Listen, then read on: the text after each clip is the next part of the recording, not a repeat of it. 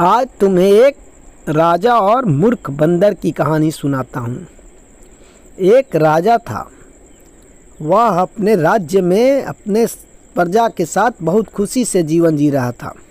एक बार वह जंगल में अपने सैनिकों के साथ शिकार करने गया। शिकार करते समय वह घोड़े को छोड़कर पैदल चलने लगा। तभी उसके रास्ते में एक सांप था, लेकिन राजा की नज़र उस पर नहीं पड़ी। और राजा एक पेड़ के पास था, तभी उस पेड़ से एक बंदर आवाज़ करने लगा। राजा का ध्यान जब उस बंदर पे गया तो राजा ने देखा कि बंदर सांप की ओर इशारा कर रहा है। ये देखकर राजा तुरंत पीछे हट गया, नहीं तो उसे सांप काठी डालता। इसके बाद राजा उस बंदर पे बहुत खुश हुआ। राजा ने अपने सैनिकों को कहा कि ये बंदर को पकड़ लो और हमारे महल में ले चलो। राजा के सैनिक उस बंदर को लेकर महल में आ गए। अब राजा उस बंदर पे बहुत विश्वास करने लगा। राजा ने सोचा ये बुद्धिमान बंदर है इसने मेरी जान बचा दी सांप से। अब ये मेरा दोस्त है। राजा उसके साथ ही सोने लगा उसके साथ ही खेलने लगा। वो बंदर भी अब राजा की हर बात मानता उससे कभी पेड़ से फल ला के तोड़ता कभी उस पर उछल कूद करता। उसके मंत्री उसे मना करते थे कि, कि महाराज इस बंदर पे विश्वास इतना मत कीजिए। लेकिन राजा किसी की बात नहीं मानता था, उसे बंदर पे पूरा यकीन था। वह राजा के राजमहल में ही सोता। एक बार राजा सो रहे थे और उनका बंदर राजा के लिए पंखा हिला रहा था ताकि राजा को गर्मी न लगे। वो हाथ पंखा हिला रहा था, तब तक राजा के चेहरे पे एक मक्खी बैठी। बंदर ने ज़ोर से पंखा जलाया तो मक्खी उड़ गई, लेकिन फिर वो नाक पे बैठ गई। बंदर ने फिर पंखा हिलाया। तो कभी वो कान पे जाती, कभी नाक पे जाती, बंदर परेशान हो गया और क्रोधित हो गया, अब उसे गुस्सा आ गया। उसने सोचा, ये मक्खी तो मेरे राजा को जगा देगी, अब मुझे इस मक्खी को मार ही देना होगा। राजा सोया था, उसके बगल में ही उसकी तलवार थी। बंदर ने वह तलवार ले ली। और जहाँ जहाँ मक्खी बैठती, वहाँ मारने की कोशिश करती। जब मक्खी राजा के मूछ पे बैठी तो राजा मंदर ने तलवार से उसकी मूछी काट दी, लेकिन मक्खी फिर उड़ गई। इसके बाद वो नाक पे बैठी राजा के। मक्खी को देखकर बंदर बहुत गुस्सा था। उसने तलवार से ऐसा वार किया कि मक्खी तो उड़ गई, लेकिन राजा का नाक ही कट गया। अब जब राजा का नाक कट गया, वो गुस्से से उठा, देखा रे बंदर तो हाथ में तलवार लिए हुए है। तो भी बंदर शांत नहीं हुआ। उसने इशारा किया कि वो मक्खी को मार रहा है। राजा समझ गया ये महामूर्ख बंदर है। आज तो ये मेरी जान ही ले लेता। इस तरह से राजा ने फिर उस बंदर को अपने सैनिकों से बोलकर जंगल में भिजवा दिया। इस तरह राजा ने उस जंग बंदर से मुक्ति पाई।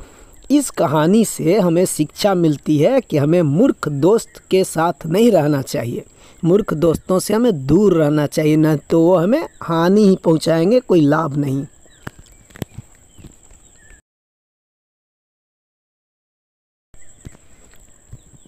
एक बार एक शहर में अकाल पड़ा। पूरा शहर खाली हो गया। सारे लोग यहाँ से वहाँ उस शहर को खाली करके चले गए। अब उस शहर में चूहों ने अपना अड्डा जमा लिया। चूहों का राजा का नाम मुसक राज था। वह अपने राज्य में चूहों का आतंक फैला दिया। हर जगह चूहे दिखने लगे। अब वो चार, जब सभी आदमी चले गए शहर छोड़कर तो चूहों का तो राज हो गया। अब चूहे मस्ती से यहाँ वहाँ कूदने लगे जहाँ जिन्हें मिलता। तब उसी शहर में एक तालाब था। जब उस साल बरसात बहुत अच्छी हुई और तालाब लबालब भर गया, लेकिन बगल के जंगल में कोई तालाब नहीं था, वहाँ पानी की दिक्कत थी। उस जंगल के हाथी के राजा को जब ये पता चला कि शहर के तालाब में बहुत सारा पानी है तो वह बहुत खुश हुआ और अपने सेना के साथ सारे हाथियों को लेकर शहर की ओर चल गया। शहर पर पानी पीने के गया, लेकिन रास्ते में बहुत सारे चूहे उसके पैर से दब के मर गए। बहुत सारे हाथियों के कारण बहुत सारे चूहे मर गए। ये देखकर मूसक राज को बहुत ख़राब लगा।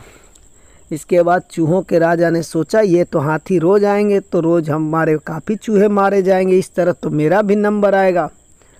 तब चूहों के राजा ने हाथी से मुलाकात की और हाथी के राजा को बताया कि, महाराज आप लोग जब आते हैं तो हमारे राज्य के बहुत सारे चूहे मर जाते हैं।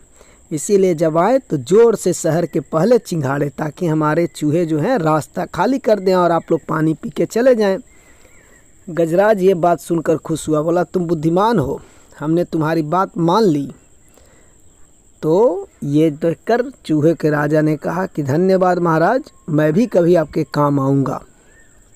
इसके बाद गजराज ने सोचा कि ये भला छोटा जीव मेरे क्या काम आएगा? मुझे इसकी क्या ज़रूरत पड़ी? बोले अच्छा अच्छा ठीक है, जाओ जाओ। कुछ दिनों के बाद उस राज्य के राजा को हाथियों को पकड़ने का शौक़ चला उसने सोचा कि हाथियों को हम अपने सेना में रखेंगे। तो राजा ने अपने सैनिकों को बोल दिया कि, जंगल से हाथी पकड़ के लाओ। अब राजा के सैनिक जंगल में आकर हाथी पकड़ने के लिए हर जगह जाल बिछा दिए। एक बार उसी जाल में हाथियों का राजा गजराज फंस गया। वह ज़ोर ज़ोर से चिंगाड़ने लगा। तब उसकी आवाज़ सुनकर एक कौवा आया। बोला, क्या हुआ महाराज? बोला, मैं फंस गया हूँ। मेरी मदद करो। तो कौवा बोला, मैं कैसे मदद कर सकता हूँ? आपकी मदद तो चूहा एलो ही कर सकता है। वो आपके जाल को काट देगा। ये सुनकर गजराज को अचानक मूसक राज का ध्यान आया, चूहों के राजा का।